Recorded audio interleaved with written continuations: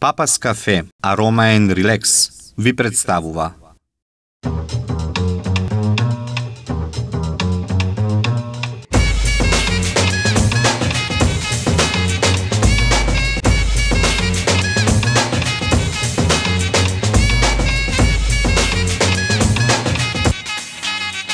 Добро дојдовте во Звезди. Сигурно сум дека добро се одморивте за време на викендот и едва чекате да чуете што е најново од гламурозниот Холивуд. Секако, за трендсетерките едва знам дека чекаат да чуат што е најново во светските модни трендови. Затоа, останете со нас. Скарлет Јохансон во новиот едиторијал потполно непрепознатливо.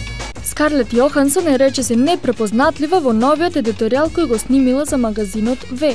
За потребите на снимањето, глумицата извршила целосна трансформација. Скарлет позирала како Бастер Китон, Марлен Дитрих, Сарат Бернард и Джулиета Масин. Таа планирала да се слика и како Елвис, но сепак се откажала. Едноставно не изгледаше привлечно, објаснила таа. Објаснила и дека идејата за снимањето нова едиторијал дошла по пиењето на неколку алкохолни пијалоци.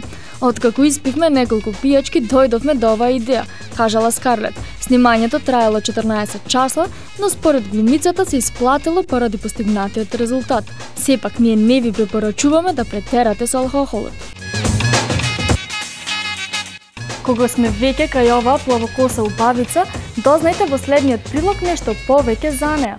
Родената Нью Йоркчанка веќе со 3 години започна да покажува интерес за актерството, а со 8 години посетуваше курс за глума во Ли Страсберг студиото. Првото актерско искуство на сцена го стекна во Оф Бродвој представата Собстри заедно со Ейтен Хавк.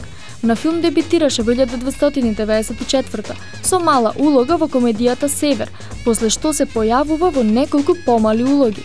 Првата значајна улога ја има играјќи го ликот на една од двете напуштени сестри во драмата Many and Low во 1996 година. Филмот на Роберт Редфорд, Шептачот на коњите, не доби баш добри критики, но затоа беше запазен талентот на младата Скарлет. Во црно-белиот човекот кој не постоеше на браќата Коен, во улогата на Лолита го залуде Били Боб Торнтон – Режисерката Софија Копола ја довери главната улога во својот втор филм Изгубени во преводот. Во 2004 ја гледавме Скарлет во екранизацијата на Девојката со бисерна обетка. Истата година го позајмува гласот на Минди во Сунгерот Боб и добива ангажман во комичната драма во Добро друштво. Потоа игра со Џон Траволта во карактерната драма приказна за Боб Лонг. Скарлет го проба својот актерски талент и во научно-фантастичните филмски проекти, меѓу кои Остров на Майкл Бей. Кратко време после тоа соработува со Вуди Ален за филмот за вршниот удар. Погледнете неколку совети од фризерското студио Кармен како да ја одржувате косата во текот на летниот период. Ако спаѓате во групата на жени кои имаат долга коса или ја фарбаат, често летото сигурно за вас се претвора во вистинско мачење – Сонцето, морската сол, ветрот и секојдневното миење на косата остават траги до таа мера што понекогаш само скратувањето на косата спасува цела работа.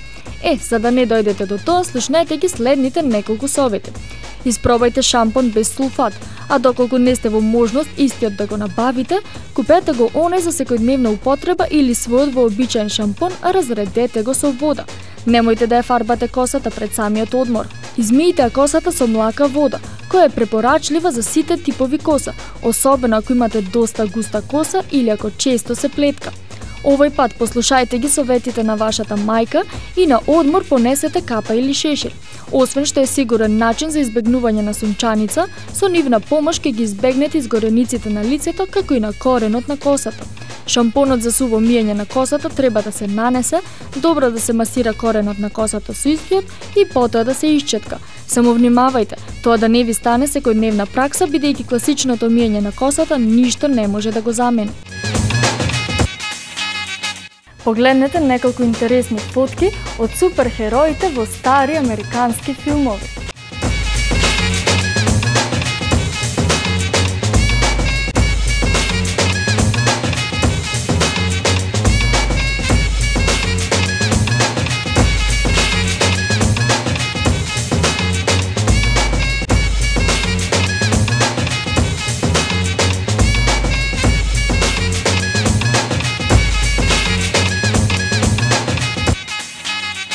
Тоа беше се што ви подготвивме за денес.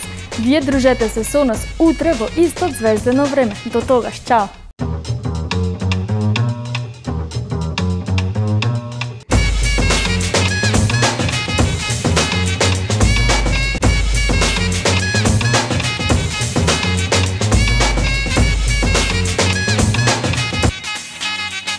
Спонзорирано од Папас кафе, Арома and Relax.